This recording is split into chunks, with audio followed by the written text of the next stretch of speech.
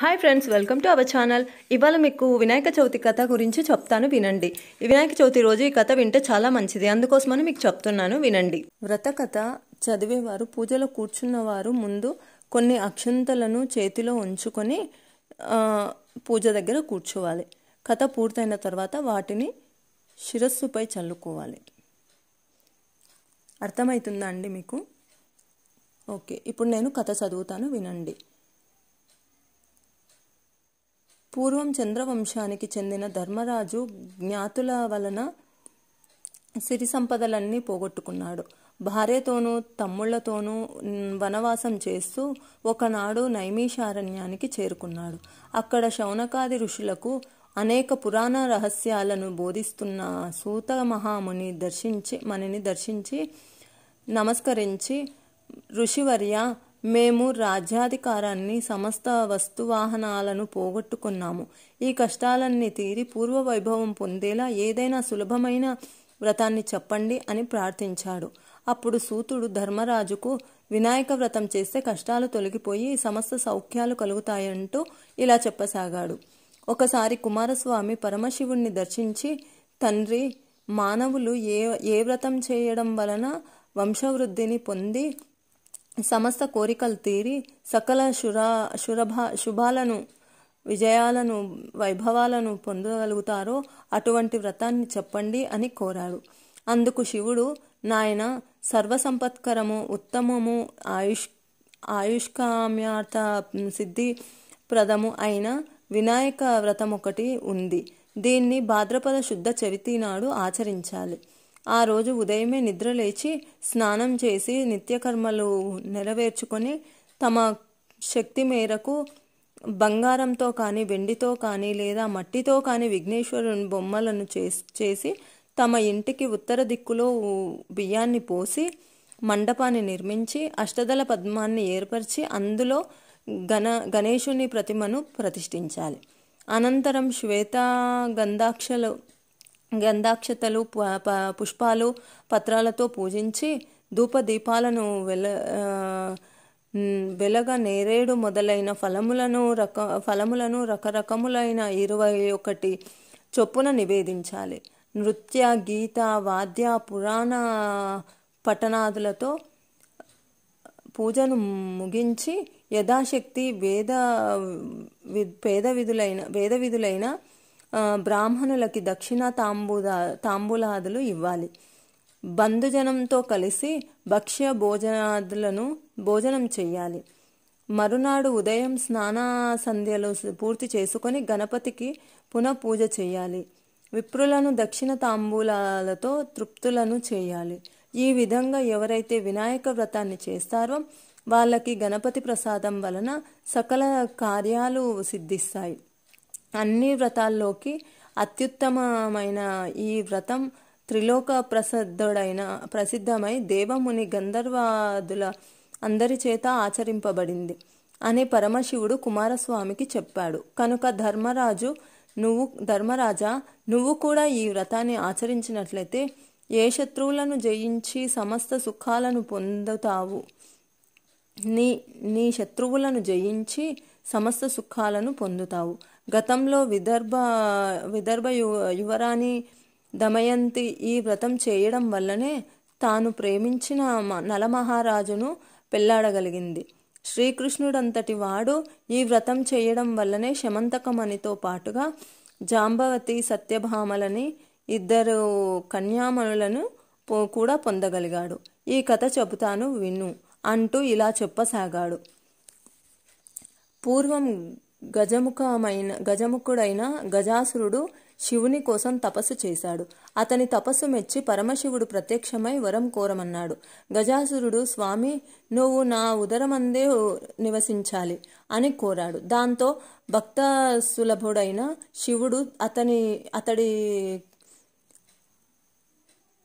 కుక్షియందు ఉండిపోయాడు. జగన్మాత పార్వతి భర్తను వెతుకుతూ ఆయన గజాసురుడు గజాసురుని కడుపులో ఉన్నాడని తెలుసుకుంది. ఆయన్ను దక్కించుకునే ఉపాయం కోసం శ్రీ మహావిష్ణువును ప్రార్థించింది. శ్రీహరి బ్రహ్మాది దేవతలను పిలిపించి చర్చించాడు. గజాసుర సంహారానికి గంగిరెద్దు మేళమే తగినదని నిర్ణయించాడు. నందీశ్వరుణ్ణి గంగిరెద్దుగా అలంకరించాడు. బ్రహ్మాది దేవతలందరూ తలకొక వాయి వాయిద్యాన్ని ధరించారు. మహావిష్ణువు చిరుగంటలు సన్నాయిలు ధరించాడు. గజాసురపురానికి వెళ్ళి గంగిరెద్దును ఆడిస్తుండగా గజాసురుడు విని వా వారిని పిలిపించారు. పిలిపించి తన భవనం ఎదుట గంగిరెద్దును ఆడించమని కోరాడు. బ్రహ్మాది దేవతలు ర రసరమ్యంగా వాద్యాలను వాయిస్తుండగా జగన్నాట నాటక సూత్రధారి అయిన హరి చిత్ర విచిత్రంగా గంగిరెద్దును ఆడించాడు. గజాసురుడు పరమానంద భరితుడై ఏమి కావాలో కోరుకోండి ఇస్తాను అని అన్నాడు.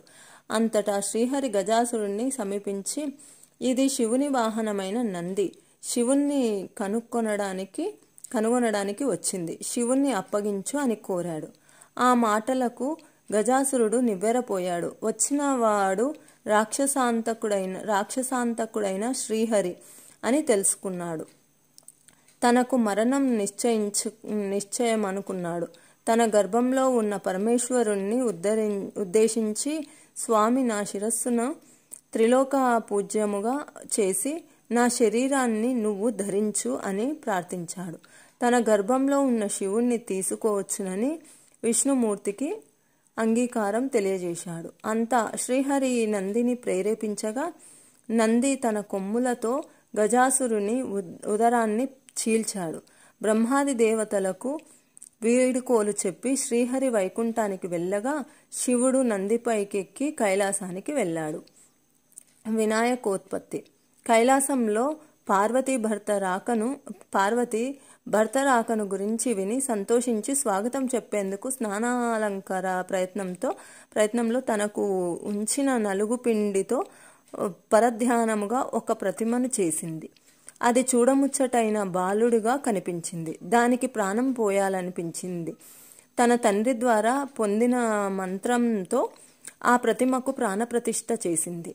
ఆ దివ్య సుందరుణ్ణి వాకిట్లో ఉంచి ఎవరిని లోనికి రానివ్వద్దని చెప్పి లోపలికి వెళ్ళింది. కాసేపటికి శివుడు వచ్చాడు. వాకిట్లో ఉన్న బాలుణ్ణి పరమశివుడు అభ్యంతర మందిరంలోనికి పోనివ్వకుండా అడ్డుకున్నాడు. తన ఇంట్లో తనకే అవరోధమా అని శివుడు కోపంతో రగిలిపోయాడు. రౌద్రంతో ఆ బాలుణ్ణి శిరచ్ఛేదం చేసి లోపలికి వెళ్ళాడు. శివపార్వతులు సంభాషణల మధ్య ద్వారం దగ్గర బాలుని గురించి మాటలు దొర్లాయి. శివుడు ఆ తను ఆ బాలుడి శిరస్సు వధించినట్లు తెలిపాడు. విషయం తెలుసుకున్న పార్వతి విలవించింది విలపించింది. శివుడి శివుడు కూడా చింతించాడు. వెంటనే తన వద్దనున్న గజాసురుణ్ణి శిరస్సుని ఆ బాలునికి మొం ఆ బాలుడి మొండానికి అతికించి ఆ శిరస్సుకు శాశ్వత శాశ్వతత్వాన్ని త్రిలోక పూజ్యతను కల్పించాడు. కలిగించాడు. గణేశుడు గజాననుడై శివపార్వతుల ముద్దుల పట్టి అయిన ముద్దుల పట్టి అయిన వాడు వాడు. ఆ తరువాత శివపార్వతులకు కుమారస్వామి జన్మించాడు. విఘ్నేశ్వరాధిపత్యం. ఒకనాడు దేవతలు మునులు మానవులు పరమేశ్వరుని పిలిపి సేవించి విగ్ విఘ్ను విఘ్నములకు ఒక అధిపతిని ఇమ్మని కోరారు. గజాననుడు తాను జ్యేష్ఠుడను గనుక ఆధిపత్యం తనకు ఇమ్మని కోరాడు. గజాననుడు మరుగుజ్జువాడు అనర్హుడు అసమర్థుడు కాబట్టి ఆధిపత్యం తనకే ఇవ్వాలని కుమారస్వామి తండ్రిని వేడుకున్నాడు. అందుకు శివుడు తన కుమారాలను ఉద్దేశించి మీ ఇరువురిలో ఎవరు ముల్లోకములకు ముల్లోకములలోని పవిత్ర నదులన్నింటిలో స్నానం చేసి ముందుగా నా వద్దకు వస్తారో వారికి ఈ ఆధిపత్యం లభిస్తుందని చెప్పాడు. అంతా కుమారస్వామి అంతలోనే కుమారస్వామి తన వాహనం నెమలిపోయిన వెంటనే బయలుదేరి వెళ్ళిపోయాడు. గజాననుడు అచేతనుడయ్యాడు. మందగా మందగమనుడైన తాను తన వాహనం అయిన ఎలుకపై ముల్లోకాలన్నీ నదులన్నింటిలో వేగంగా స్నానం చేసి రావడా రావడం కష్టసాధ్యమని తరుణోపాయం చెప్పమని తండ్రిని వేడుకున్నాడు. వినాయకుని బుద్ధి సూక్ష్మతను సూక్ష్మతకు మురిసిపోయి శివుడు నారాయణ మంత్రాన్ని అనుగ్రహించాడు. నారములు అనగా జలములు. జలములన్నీ నారాయణుని ఆధీనములు. అంటే నారాయణ మంత్రం ఆధీనంలో ఉంటాయి. వినాయకుడు ఆ మంత్రం చదువుతూ తల్లిదండ్రుల చుట్టూ ప్రదక్షిణం చేయ చేయడం ప్రారంభించాడు. ఆ మంత్రం ప్రభావం ప్రతి తీర్థంలోనూ కుమారస్వామి కన్నా ముందే వినాయకుడు ప్రత్యక్షం కావడం ప్రారంభించాడు. ఇలా మూడు కోట్ల యాభై లక్షల నదులలో వినాయకుడే ముందుగా స్నానం ఆచరించడం చూసి కుమారస్వామి ఆశ్చర్యపడి కైలాసానికి వెళ్ళాడు. తండ్రి పక్కన ఉన్న గజానుని చూసి నమస్కరించి తండ్రి అన్నగారి మహిమ తెలియక ఆధిపత్యం అడిగాను. క్షమించండి. ఈ ఆధిపత్యం అన్నగారికే ఇవ్వండి అని ప్రార్థించాడు.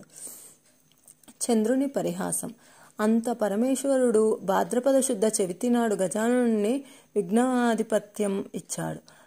ఆనాడు సర్వదేశస్థులు విఘ్న సర్వదేశస్థులు విఘ్నేశ్వరునికి కుడుములు ఉండ్రాలు మొదలైన పిండి వంటలు టెంకాయలు తేనె అరటి పండ్లు పానకం వడపప్పు మొదలైనవి సమర్పించి పూజించగా విఘ్నేశ్వరుడు సంతుష్టుడై కొన్ని భక్షించి కొన్ని వాహనంకిచ్చి కొన్ని చేత ధరించి సం సూర్యాస్తమయ వేళకు కైలాసానికి వెళ్ళి తల్లిదండ్రులకు ప్రణా ప్రణామం చేయబోయాడు. ఉదరం భూమి కానిన చేతులు భూమి కానవు. ఉదరం భూమి కానన చేతులు భూమి కానవు. చేతులు భూమి కానన ఉదరం భూమి కానదు. ఈ విధంగా ఇబ్బంది పడుతుండగా శివుని శిరస్సులో ఉన్న చంద్రుడు వినాయకుని అవస్థ చూసి నవ్వాడు. రాజదృష్టి సోకిన రాళ్ళు కూడా నగ్గుతాయి. నవ్వు నుగ్గ నుగ్గత నుగ్గవుతాయి. అన్నట్లు విఘ్నదేవుని ఉదరం పగిలి లోపలున్న కుడుములన్నీ ఆ ప్రదేశంలో పడి వినాయకుడు మృతి చెందాడు. అది చూసి పార్వతీదేవి అను ఆగ్రహంతో చంద్రుని పాపాత్ముడా నీ దృష్టి తగిలి నా కుమారుడు మరణించాడు. కాబట్టి నిన్ను చూసిన వారు పాపాత్ములై నీలాప నిందలు పొందుదురుగాక అని శపించాడు. ఇప్పుడు ఒక కొబ్బరికాయ కొట్టి నీళ్ళు వినాయకునిపై చల్లి కూర్చోండి విగ్రహంపై చల్లండి. ఇప్పుడు ఋషిపత్నులకు నీలాప నిందలు. ఆ సమయంలో సమ సప్త ముహూర్తాలు యజ్ఞం చేస్తూ సప్త మహర్షులు ఆ సమయంలో సప్త మహర్షులు యజ్ఞం చేస్తూ తమ భార్యలతో అగ్ని ప్రదక్షిణం చేస్తున్నారు. అగ్నిదేవుడు ఋషిపత్నులను మహి మోహించి శాపభయంతో అశక్తుడై క్షీణించడం ప్రారంభించాడు. అగ్ని భార్య అయిన స్వాహాదేవి అది గ్రహించి అరుంధతి రూపము కాక మిగిలిన ఋషిపత్నుల రూపం ధరించి పతిని సంతోషపెట్టేందుకు ప్రయత్నించింది. అగ్నిదేవునితో ఉన్నది తమ భార్యలే అని శంకించి ఋషులు తమ భార్యలని విడనాడారు. ఋషిపత్నులు చంద్రుని చూడడం వల్లే వారికి ఈ నీలాపనింద కలిగింది. ఋషిపత్నులకు వచ్చిన ఆపదను దేవతలు దేవతలు మునులు పరమేశ్వరుని తెలుపగా దే తెలుపగా అతడు అగ్నిహోత్రుడైన అగ్నిహోత్రుని భార్యయే ఋషిపత్నుల రూపం ధరించిందని చెప్పి ఋషులకు సమాధానపరిచాడు. అప్పుడు బ్రహ్మ కైలాసానికి వచ్చి మృతుడై పడియున్న విఘ్నేశ్వరుడిని బ్రతికించాడు.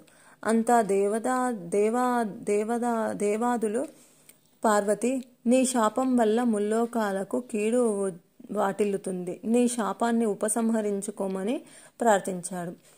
వినాయక చవితి నాడు మాత్రమే చంద్రుణ్ణి చూడరాదు. ఆ శాపాన్ని సడలించింది పార్వతీదేవి. శమంతకోపాఖ్యానం.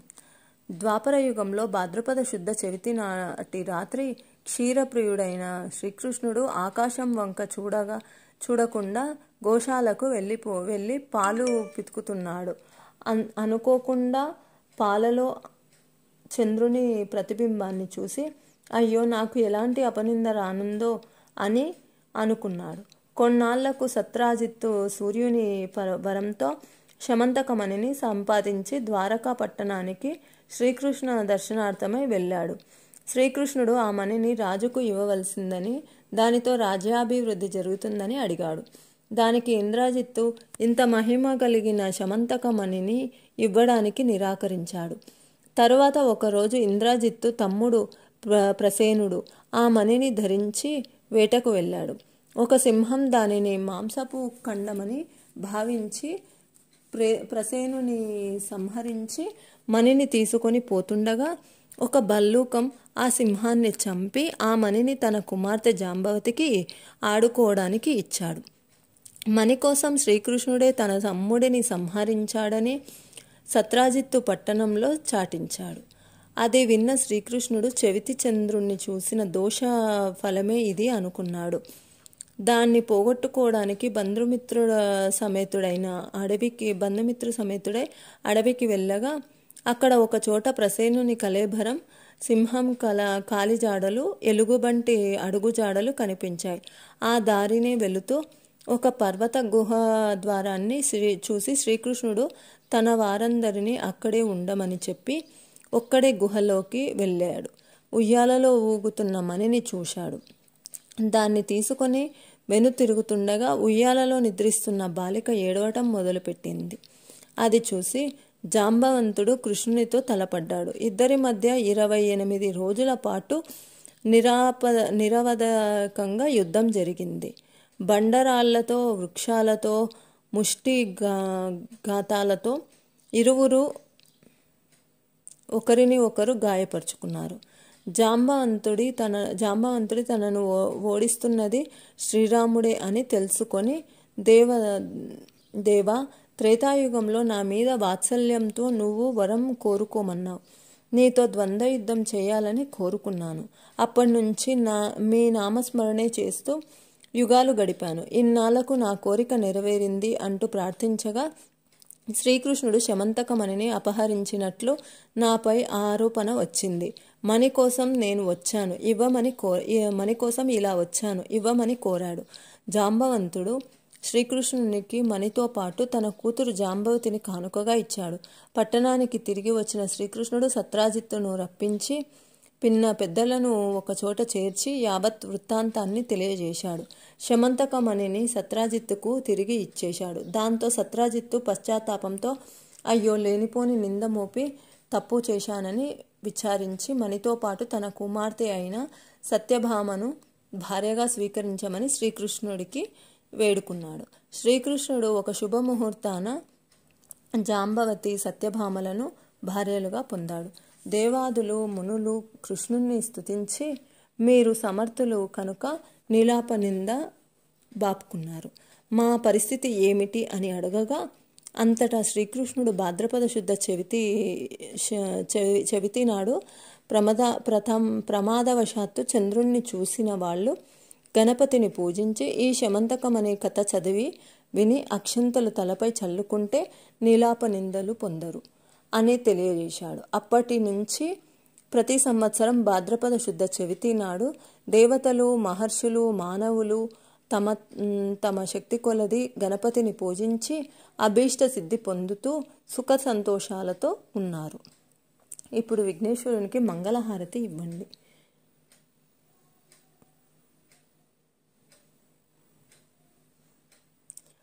ఓం మంగళం మంగళం కోశలేంద్రాయ మహనీ గుణాత్మనే చక్రవర్తనోజాయ సార్వభౌమాయ మంగళం సర్వమంగళమాంగళ్యే శివే సర్వార్థ సాధికే శరణ్యే త్రయంబకే దేవి నారాయణి నమోస్తుతే ఇప్పుడు ఉద్యాపన ఉద్వాసన మంత్రం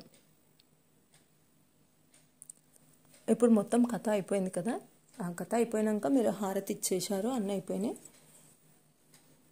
ఇప్పుడు అందరూ కలిసి మొక్కండి सर्वे जना सुखिनो भवन्तु। सर्वे जना सुखिनो भवन्तु। सर्वे जना सुखिनो भवन्तु।